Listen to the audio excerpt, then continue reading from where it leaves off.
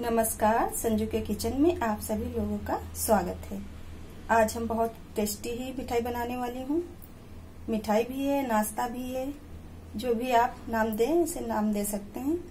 ये हमने मावा ले लिया है। मावा हमारा मलाई का मावा है, जो हम लोग मलाई स्टोर कर देते हैं। फिर दो तीन दिन के बाद जब ज़्यादा हो जाती है, उसको पकाते हैं। घी तो हमारा निकल आता है, लेकिन नीचे जो दूध मलाई के साथ जाता है वो नीचे जम के ये खोया बन जाता है, मावा बन जाता है। हम इसी से बनाएँगे आज। ये देखिए कभी कभी ऐसा होता है, ये ज़्यादा डार्क हो जाता है। हम इसे लगातार चलाते रहे हैं, इसलिए ये चिपने नहीं पाया है और बहुत हल्का ही डार्क नहीं है, हल्का ही है। चलिए बनाना स्टार्ट करते हैं। ये हमने सामान ले लिया है, ये हमने चीनी ली है। चीनी अपने हिसाब से कम ज़्यादा ले सकती हैं, जितना मीठा पसंद करती हूँ। इसमें इलायची दाना भी, हमने ग्रीन वाली जो इलायची छोटी वाली होती है, उसे भी पीस लिया है। और ये हमने नारियल, महीन वाला, ग्रेटर से ग्रेट कर लिया है। ये हमारा खोया है मावा, अपने हिसाब से कम ज़्यादा और ये 250 ग्राम हमारा मैदा है। अब इन सभी चीज़ों को हम आपस में मिलाते हैं।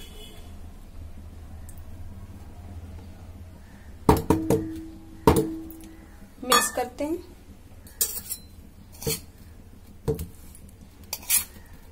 इसमें ऑयल हम नहीं डालेंगे, मावा डाल रहे हैं। मिक्स करके हाथ से मिक्स करेंगे।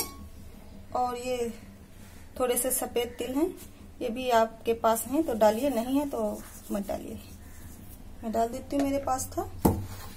मिलाते हुए इस तरह से। मिला देंगे अच्छे से। और पानी की ज़रूरत होगी तो हम इसमें डालेंगे, वरना पानी नहीं डालेंगे। पहले मिक्स कर लेते हैं। ये देखिए, इस तरह से हमने मिला लिया है। हो गया, इसमें पानी डालेंगे। बहुत ही कम पानी डालेंगे, क्योंकि चीनी है इसमें ना।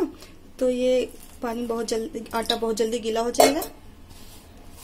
मिलाते हुए इस तरह से, देखिए।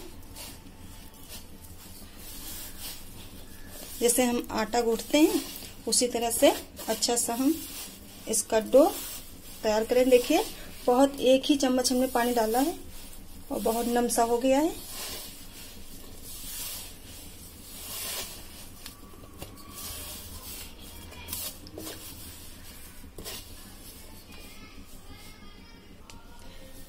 देखिए,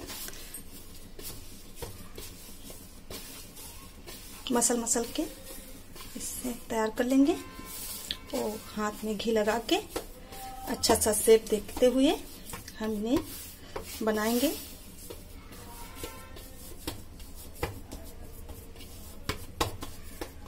ये देखिए, इस तरह से हमको डो तैयार करना है इसका। ये हमारा डो रखा है। हम किसी भी सेब में इसे बना सकते हैं। थोड़ा सा डो उठाएँगे। ऐसे लंबा लंबा सा करके।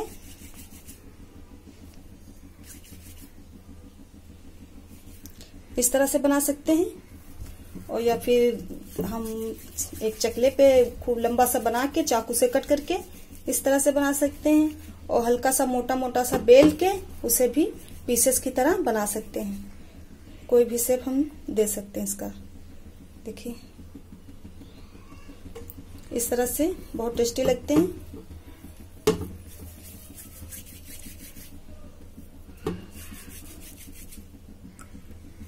इसी तरह से हम बना के तैयार कर लेते हैं। इधर हमारी कढ़ाई में तेल गरम हो रहा है। तेल हमारा हाई गरम नहीं होना चाहिए, लो भी नहीं गरम होना चाहिए, मीडियम गरम होना चाहिए तेल।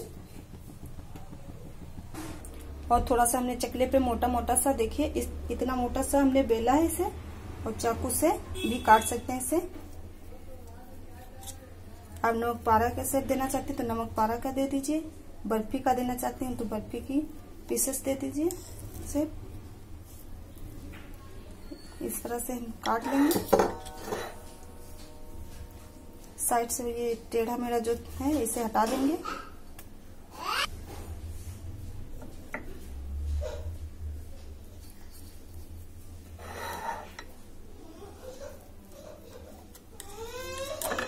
ये देखिए। ये सभी बना के हमने तैयार कर लिया है, देखिए इस तरीके से।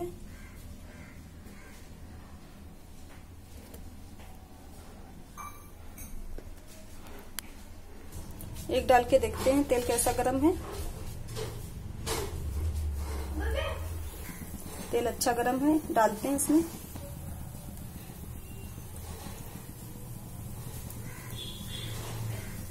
स्लो आँच पर ही ज़्यादा नहीं हाई पे पकाएँगे धीरे धीरे ही पकाएँगे, क्योंकि टेस्टी बनाना है इन्हें ये देखिए, हमने डाल दिए हैं, जितने हमारे तेल में आए हैं, कढ़ाई में आसानी से आ गए उतने हमने डाल दिए हैं। जो पक गए हैं, उन्हें पलट देती हूँ। इस तरह से। ये देखिए, पक रहे हैं। एक तरफ़ से रेड हो गए हैं, गोल्डन। ये देखिए, अब इन्हें हम निकाल लेते हैं। बहुत ही आसानी से निकालेंगे। अभी मुलायम है ना, इसमें मावा पड़ा है।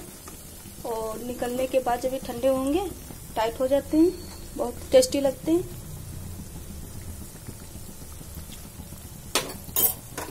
इस तरह से एक लेंगे पुनिया, उसी से निकालेंगे। जो इसमें एक्स्ट्रा ऑयल होगा, उसी में चला जाएगा वापस, इस तरह से निकाल लेंगे। चलिए सभी को निकाल लेते हैं, इसी तरह से पका के तैयार कर लेते हैं।